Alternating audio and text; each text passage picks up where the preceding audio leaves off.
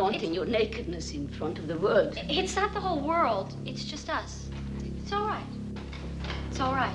Mrs. Collins, we were only kidding. Sort of overreacted.